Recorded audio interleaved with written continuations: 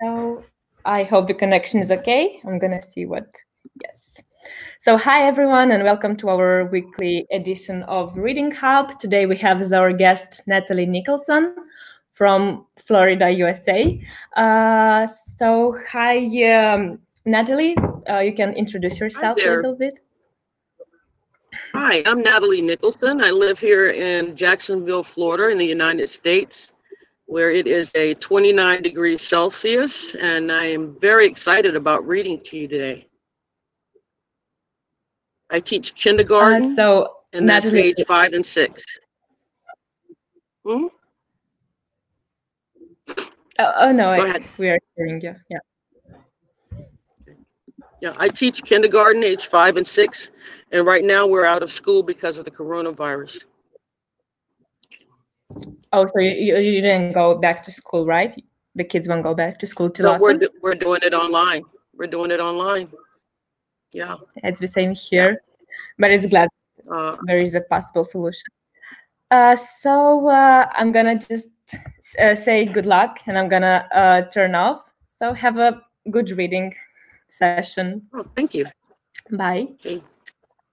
Sure. Today I'm going to read to you from one of my favorite types of stories, and I'm going to show you a book. This is a series of book I've had since I was a little kid, and that's been a long time ago. And it's called Junior Classics, Myths and Legends. Today I'm going to read to you one of the stories about a young man named Prometheus. Prometheus, you might have heard that word somewhere before. Um, but he was the person, the titan that brought fire back to humans. Um, Greek mythology is really great because it teaches you so many things. And with that, I'm going to go ahead and start this first story here. When Zeus, the king of the Olympian gods, was young and trying to establish his rule, a long and terrible war ensued. All the Olympian gods joined against the Titans, who were led by Zeus' father, Cronus, and the mighty Atlas. After 10 long years of fighting, Zeus and his fellow Olympians defeated the enemy.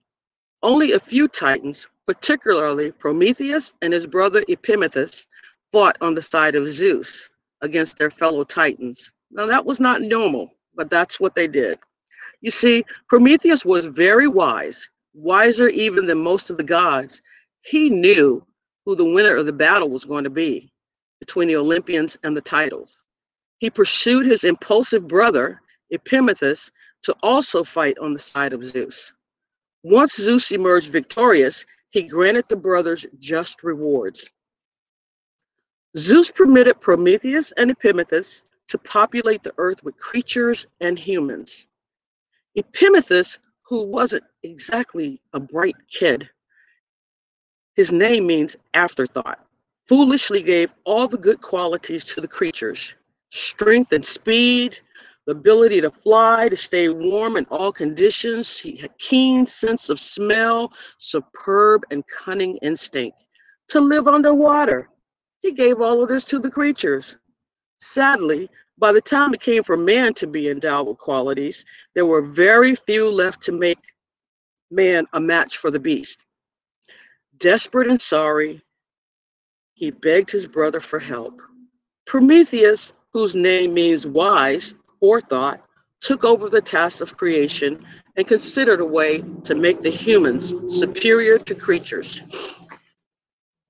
Prometheus passed on to man the useful arts taught to him by Athena and looked with joy upon his creation. he felt bad, however, because when man sacrificed to gods, the best portion of animals were offered to the Olympians, leaving very little for people. So Prometheus tricked Zeus into choosing one pile of offerings, cleverly disguised to look delicious, but all he was hiding was fat and bones. Zeus fell for the trick and impulsively chose the wrong pile. And from then on, humans got to keep the goods and tasty part of animal offerings and Zeus got the bones and the fat. This made the king of Olympian very angry, so he punished Prometheus, who was laughing at him. Zeus took fire away from man, Let them eat their meat raw, he shouted. Let's see how they keep warm in the winter. Zeus knew that he seemed ungrateful if he directly hurt Prometheus, so the Titan had to help him become king of Olympus so he could do the next best thing. Swearing revenge, he punished humans by taking away their fire. Well, this didn't set well with Prometheus. Daily he looked down with sadness upon his creation. He watched them shiver in the cold and trying to eat raw food. Slowly they began to die. Prometheus could no longer sit by idly. Let's see what he does.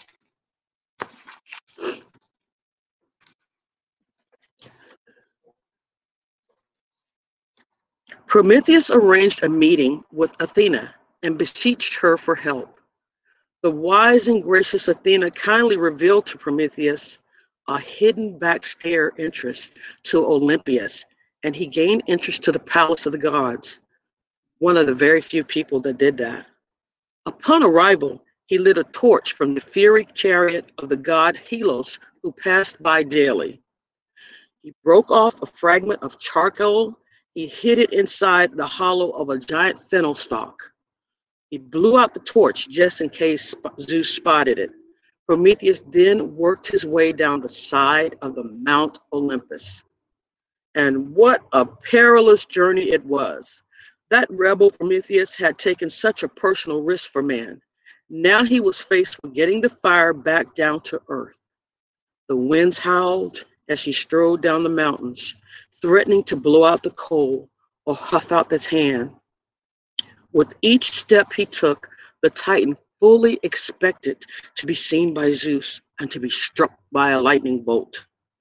But Prometheus made it to Earth and proudly gave the fire to the humans who were overjoyed.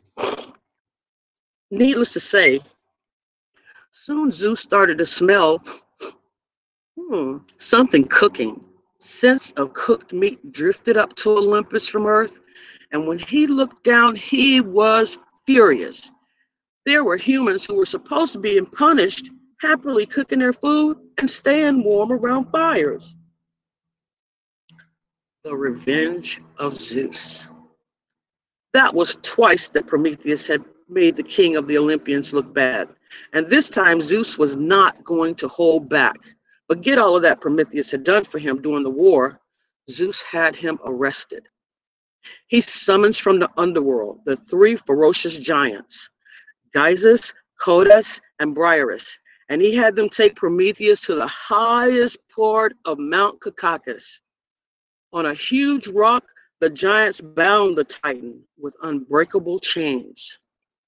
Each day, an enormous eagle, some think it was a vulture, sent by Zeus, would arrive and eat Prometheus' liver. ill, feasting on the helpless Titan. To make matters worse, the liver would grow back overnight and the whole ordeal would happen the following day. For some, some say it was 30 years, some say it was a thousand years, some say it was 30,000 years. For some time, Prometheus endured this excruciating pain and torment. Being a god, he couldn't die. Thus, his ordeal could not be eased. At one point, Zeus offered him a chance to free himself by revealing information that Prometheus knew. Remember, Prometheus could see the future. Zeus wanted to know who would try to challenge him and take over his kingdom. And he wanted Prometheus to tell him this.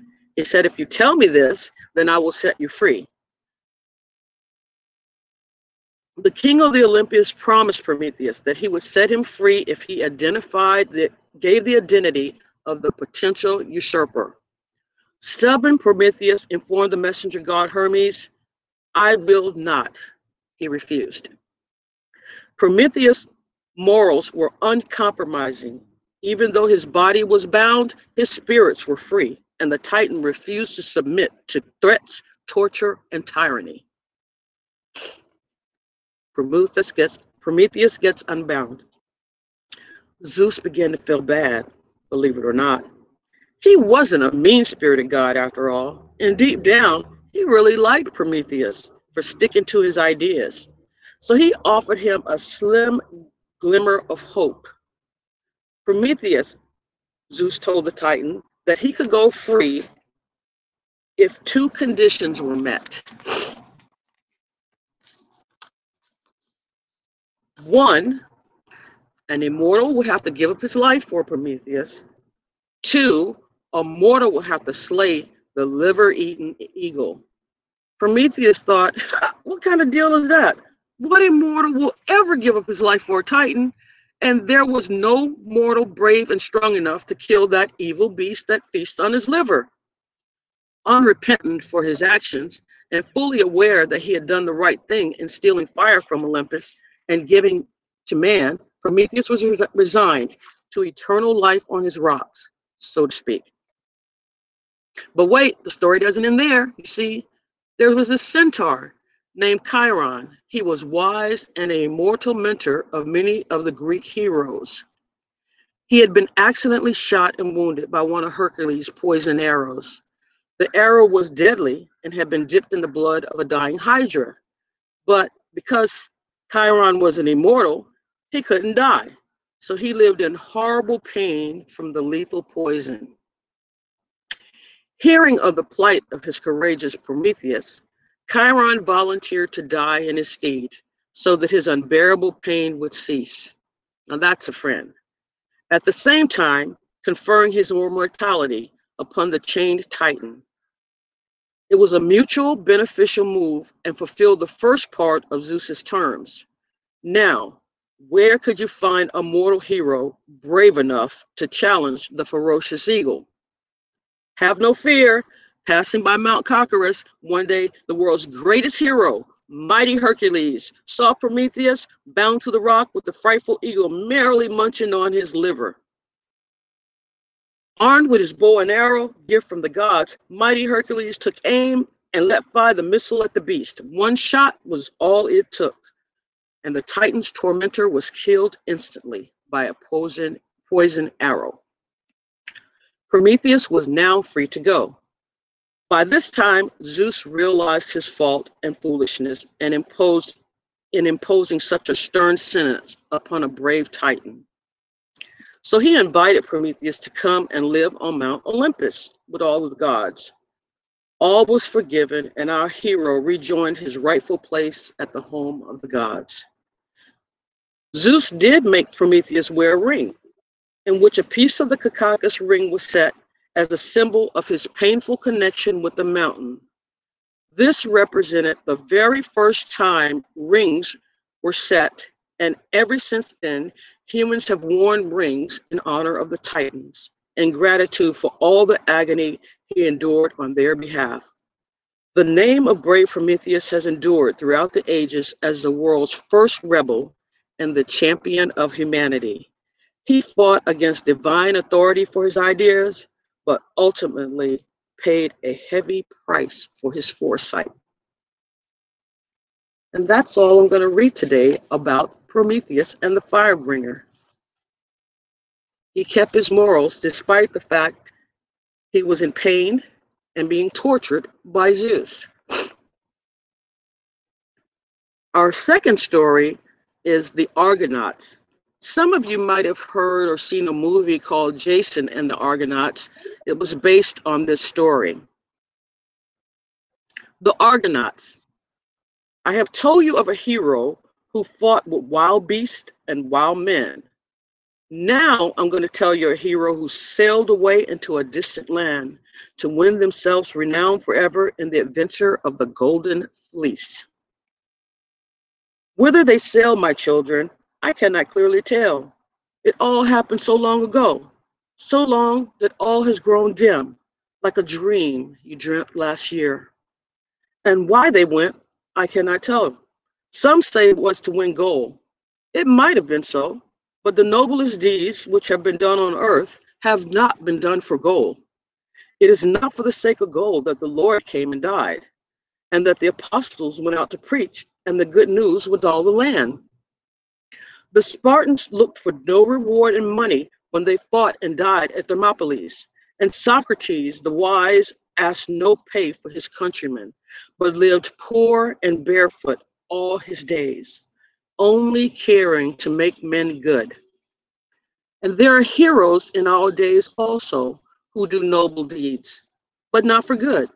Our discoverers did not go to make themselves rich when they sailed after one another's to dreary frozen seas, nor did ladies who helped with the Crimean War to drudge in the hospitals of the East, making themselves poor that they might be rich in noble works. Young men, too, whom you have known, children, and some of them your own kin, did they say to themselves, How much money will I earn? When will they when they went out to war, leaving wealth and comfort and a pleasant home, and all that money can give to face hunger and thirst and wounds and death, that they might fight for their country or their queen.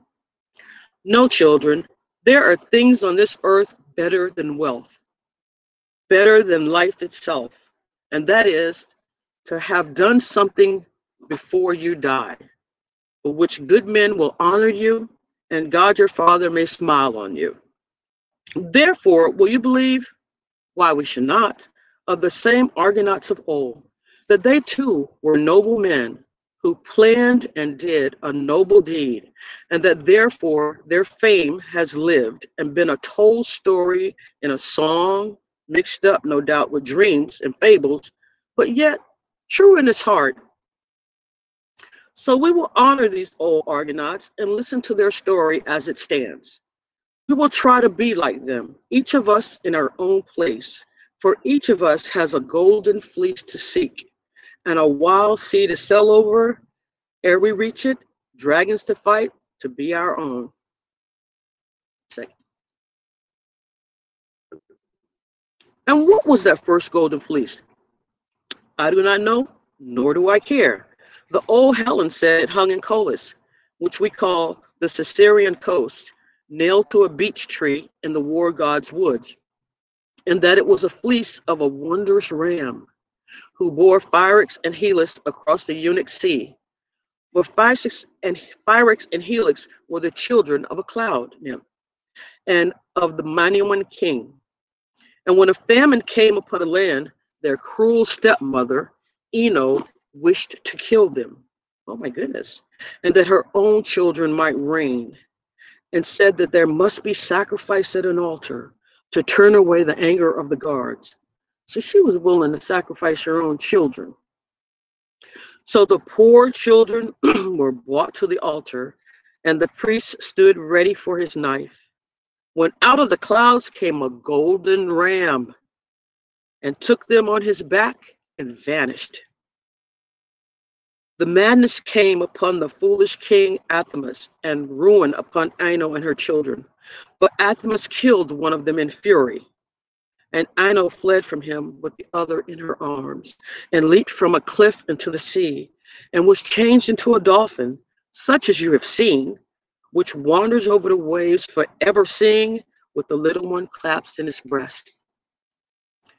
But the people drove out the king because he had killed the child, and he roamed about in misery till he came to an oracle in Delphi. And the oracle told him, You must wander for your sins till the wild beasts should feast him as their guest. So he went on in hunger and sorrow for many weary days, till he saw a pack of wolves. The wolves were tearing a sheep, but when they saw him, they fled and left the sheep for him, and he ate it. And then he knew the oracle was fulfilled. So he wandered no more, but settled in a town and became king again. But the ram carried the two children far away over the land and sea till it came to Chersonese, and then Helle fell onto the sea. So these narrow straits are called Hellespont after her, and they bear the name until this day. I'm going to look that up. Then the ram flew on to the northeast across the sea which we call the Black Sea now, where the Hellenes call it Euxine. And at last, they say, he stopped at Colchis on the steep, steep Circaean coast and married the daughter of the king and offered a ram in sacrifice. He nailed the ram fleece to the beach in the grove of the war god. And after a while, Phrixus died and was buried, but his spirit had no rest, for he was buried far from his native land and the pleasant hills of Hellas. So he became in dreams to the hero of the Minuai and called sadly by their beds, Come, please set my spirits free, that I may go home to my father and to my kinfolks in the pleasant Minuan islands. And they asked, How shall we set your spirit free? You must sail over the sea and bring home the golden fleece. And then my spirit will come back with it, and I shall sleep with my father and have rest and peace. He came thus and called to them often. But when they woke, they looked at each other. Who would dare sail into Colchis and bring home the golden fleece? And in all the countries, none was brave enough to try for the man and the time were not come. Now, Phrixus had a cousin named Jason who was king by the sea. There he ruled over the rich Minuan heroes as Athamas, his uncle, ruled in Boeotia. And like Athamas, he was an unhappy man, for he had a stepbrother named Peleus, of whom some say was a nymph son. and there were dark and sad tales about his birth. When he was a babe, he was cast out to the mountains, and a wild mare came by and kicked him. Oh my goodness. But a shepherd found him, went with his face all blackened by the blow, and took him home and called him Peleus, because his face was bruised and black. And he grew up fierce and lawless, and did many a fearful deed. And he grew up fierce and lawless, and did many a fearless deed. And at last he drove out his stepbrother, and then he ruled, then, then his own brother, and he took the kingdom for themselves and ruled over the rich Minuan heroes. So he went up from the sea across the valley, through the vineyards and the olive gardens, and across the torrent towards Pelion, the ancient mountains, whose brows are white with snow. He went up and up into the mountains over marsh, over crag, and down till the boy was tired and footsore. Jason had to bear him in his arms till he came to the mouth of a lonely cave and at the foot of a mounting mighty cliff. Above the cliff, the snow wreaths hung, dripping and cracking in the sun. But at its foot around the caves grew all fair flowers and herbs as if the garden ranged in order, each sorted by itself. There they grew gaily in the sunshine and the spray of the torrent from above, while from the cave came the sound of music and a man's voice singing in a harp.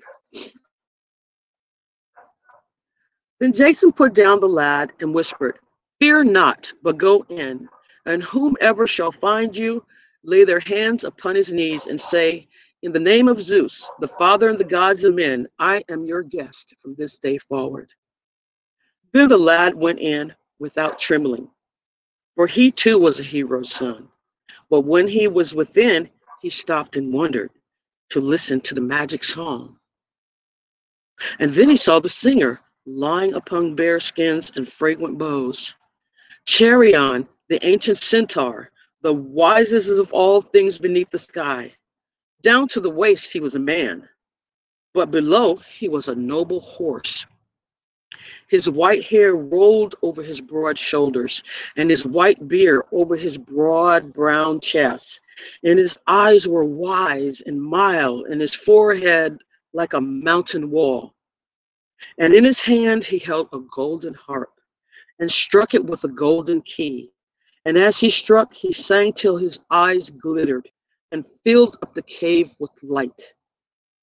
And he sang of the birth of time, and of the heavens, and of dancing stars, and of ocean, and ether, and the fire, and the shaping of wondrous earth. And he sang of the treasures of the hills, and the hidden jewels of the mines, and the veins of fire and metal, and the virtues of all healing herbs, and the speed of birds, and of prophecy, and of hidden things to come. Then he sang of health and strength and manhood and of valiant heart and of music and hunting and wrestling and all the games that heroes love and of travel, wars, siege, noble death and fight. He sang of peace and plenty and of equal justice in land. He sang of the boy, he sang as the boy listened wide-eyed and forgot his errand in the song. And at last, old Chiron was silent and he called to the lad with a soft voice. And the lad ran, trembling, and would have laid his hands upon his knees. But Chiron smiled and said, Call hither your father, for I know you and all that has befallen you, and you both are far from the valley, even before you left the town. Then his father came in sadly and Chiron asked him, Why cannot you yourself to me? Why didn't you come to me yourself? Is what he's saying. I thought Chiron would pity the lad if he saw him come alone, and I wished to try whether he was fearless and dare venture like a hero's son. So he's saying he was testing out his son. But now I entreat you by Father Zeus, let the boy be your guest till better times and train him in the sons of heroes, that he may avenge his father's house. So he wanted his son to be trained as a warrior and that he could take revenge for those who had wronged his father. Chiron smiled and drew the lad close to him. He laid his hand upon his golden locks and said, Are you afraid of my horse hoofs, fair boy? And will you be my pupil from this day? I would gladly have your horse hoofs like you. I could sing much songs as yours. And Chiron laughed and said, Sit here by me until sundown, when your playfellows will come to you, and you shall learn like a king, worthy to rule over gallant men. Then he turned to the father and said, You, go back in peace and bend before the storm like a prudent man. This boy shall not cross into Anauros again, till he has become a glory to you and the house of Aeolus. And Aeson wept over his son as he went away. He knew he would miss him. But the boy did not weep. So full was his fancy in the strange cave, and the centaur and his song, and his playfellows whom he were to see. Then Chiron put the lyre in his hand, that was like the golden harp, and taught him how to play it, till the sun sunk low behind the cliff, and a shout was heard outside. And then in the house came the son of the heroes, and many other mighty names, the son of Hercules, the son of Peleus, all hero children. And now Chiron leapt up joyfully and his hooves made the cave resound as they shouted, Come out, Father Chiron, come out, see our games. And one cried, I have killed a deer. Another, I took a wildcat among the crag. And Hercules dragged a wild goat after him by its horns. But he was huge as a mountain crag. He carried a bear cub under each arm and laughed as they scratched and bit, for neither tooth nor steel could harm him.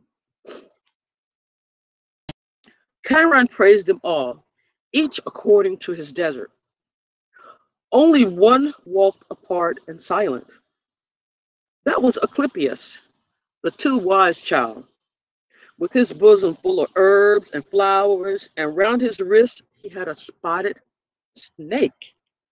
He came with downcast eyes to Chiron and whispered how he had watched the snake cast his old skin and grow young again before his very eyes, and how he had gone down into the village in the vale and cured a dying man with the herbs he had seen a sick goat eat. Chiron smiled and said, To each Athene and Apollo give some gift, and each is worthy to his place. But to the child they have given an honor beyond all honor, to cure while others kill. So this child had healing power. These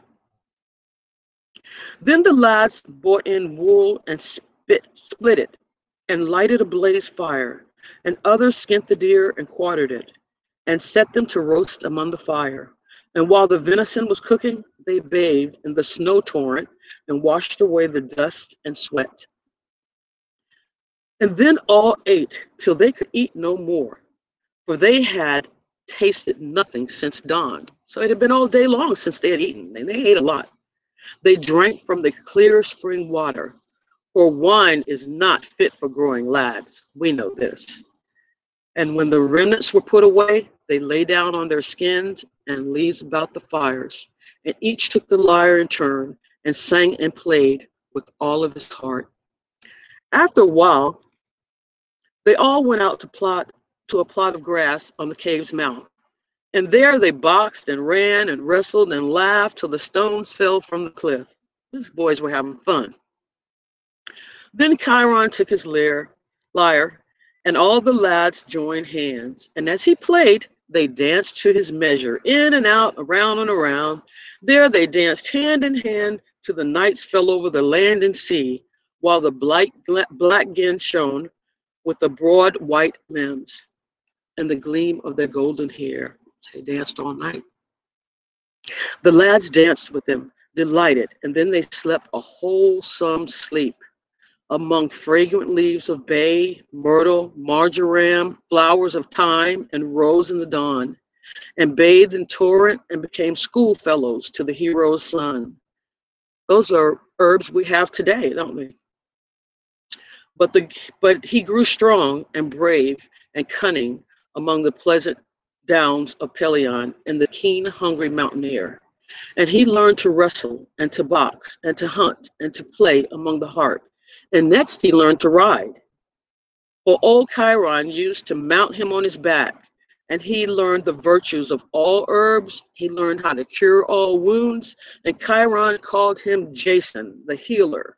And that is his name until the day. There's your Jason. Ten years came and went, and Jason was grown to be a mighty man. Some of his fellows were gone, and some were growing up by his side. Asclepius was gone to Peloponnese to work his wondrous cures of men, and some said he used to raise the dead to life. Hercules was gone to Thebes to fulfill those famous labors which have become proverbs among men, and Peleus married a sea nymph, and his wedding is famous to this day. Aeneas was gone home to Troy, and many a noble tales you will hear of him. And we'll talk about those later. Jason looked and saw the plains of Thalassies, where the Lapithae bred and the, bred their horses, and the lake of Babi and the stream which runs northward to Peneus and Tempe. He looked north and saw the mountain wall, which guarded the Magnesian shores, Olympus, the seat of the immortal, and Ossa and Pelion, where he stood.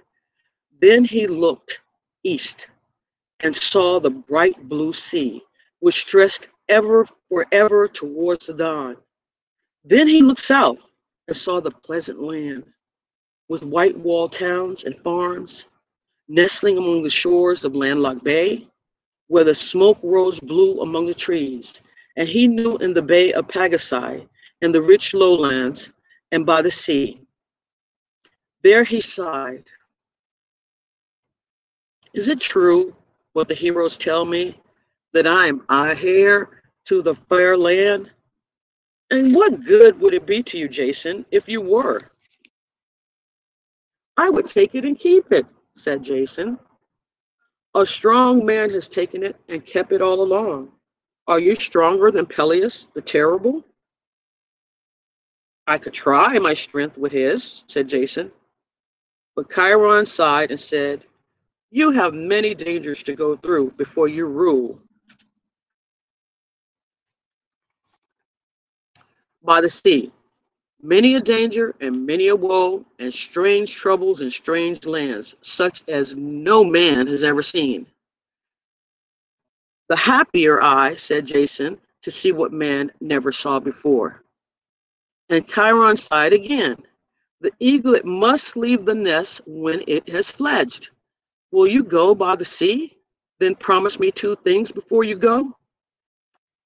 Jason promised, and Chiron answered, Speak harshly to no soul whom you meet. Promise number one. And stand by the words that you speak. Promise number two. Jason wondered why Chiron asked him of this, but he knew that centaurs were prophets and saw things before they happened.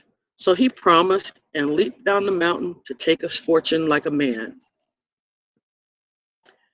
He went down through the arbutus thickets and across the downs of thyme till he came to a vineyard wall, and the pomegranates and the olives in the glens. And among the olives roared Oreus, all foaming with summer blood. On the bank stood a woman, all wrinkled, gray, old, her hair head shook, haze on her breast, and her hand shook, palsy on her knees. And when she saw Jason, she spoke whining, Who will carry me across the flood? Jason was bold and hasty and was just going to leap up onto the flood, and yet he thought twice before he leapt. So loud roaring was the torrent, all brown from the mountain rains, and silver veins with melting snow while underneath he heard the boulders rumbling like the tramps of horsemen and the rolls of wheels. Hmm. This was shaking rocks. But the old woman whined even more. I'm weak and old, fair youth. For Hera's sake, carry me over the torrent. And Jason was going to answer her scornfully when Chiron's words came to his head. Hmm. So he said, for Hera's sake, the queen of the immortals on Olympus, I will carry you across the torrent unless we both are drowned midway. He kept his word. Then the old dame leapt up on his back as nimble as a goat, and Jason staggered in wondering. The first step was up to his knees. The second step was up to his waist, and the stones rolled about his feet his feet slipped about the stones, so he went on staggering and panting, while the old woman cried on his back, Oh, you have wet my mantle. Do you make game of poor old souls like me? Jason had half a mind to just drop her and let her get through by herself. But Chiron's words were in his mind, and he said only, Patience, mother. The best horse may stumble someday. At last he staggered to the shore and set her down upon the bank, and a strong man he needed to have, or would, or that would, while water he never would have crossed. sorry, let me read that again. At last he staggered to the shore and set her down upon the bank, and a strong man he needed to have been, or that water would have never been crossed. He lay panting whew, among the bank and then leapt up to go on his journey. He cast one last look upon the woman, but he thought, she should have at least said thank you. And as he looked, she grew fairer than all women, taller than all men on earth. Her garments shone like winter sea, and her jewels like the stars of heaven. And over her forehead was a veil, woven in golden clouds of the sunset. And though the veil, she looked at him with great soft eyes, with great eyes mild and awful, which filled all the glens with light. Jason fell on his knees and hid his face between his hands. And she said, I am queen of Olympus, Hera, the wife of Zeus, and thou hast done to me what I will do for thee. Call on me in your hour of need, and try if the immortals can forget. And when Jason stood up, she rose from the earth like a pillar of tall white cloud and floated across the mountain peaks toward Olympus and the holy hill. Then a great fear fell on Jason, for after a while he grew light of heart. He blessed old Chiron, and surely the centaur is a prophet, and guessed what will come next. Hmm. Then he went down toward the town, and he walked. He found that he had lost one of his sandals in the flood. And as he went through the streets, the people came out to look at him. So tall and fair was he, but some of the elders whispered, and at last one of them stopped Jason and called him, Fair lad, who are you, and whence you come from? My name, good father, is Jason, and I have come from Pelion from above. And my errand is to your king, to tell me where he is. But the old man started and grew pale. Do you not know the oracle, my son, that you go boldly through the town with one sandal on? I am but a stranger here and know of no oracle. But what of my one sandal? I lost the other in Anauros while I struggled with the flood. Then the old man looked back to his companions, and one sighed and another smiled. At last he said, I will tell you, lest you rush to your ruins. I will tell you, the oracle in Delphi, he said, that is a man wearing one sandal should take the kingdom from Peleus and keep it for himself. Therefore, beware when you go to his palace, for he is fierce and cunning. I am Jason, the son of Aeson, the eye of all land. Then Peleus lifted up his hand and eyes and wept, or seemed to weep, and blessed the heavens, which had brought his nephew to him, never to leave before no more. For he said, I have but three daughters and no son. You shall be my heir, heir, then and rule the kingdom after me, and marry whichever daughter you choose.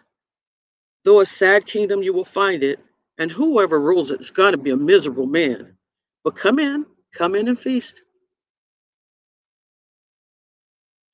So he drew Jason in, whether he would or not, and spoke to him so loving and feasted him so well that Jason's anger passed. But at last he said to Peleus, Why do you look so sad, uncle? And what did you mean just now when you said that whoever rules this kingdom is going to be sad?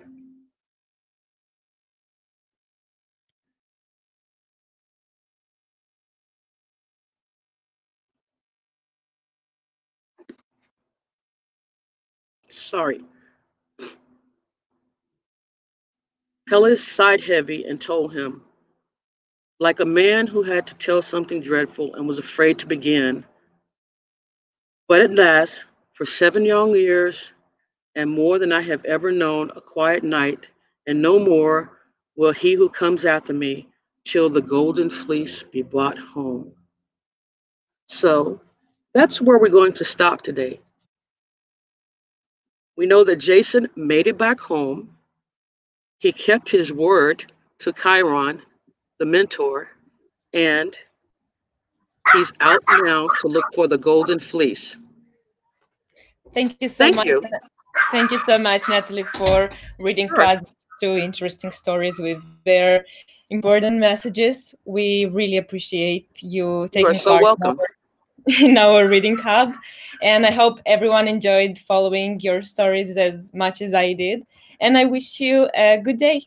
Thank you so Thank much. Thank you. I appreciate you. Thank you. Have a Be nice day. safe. You too.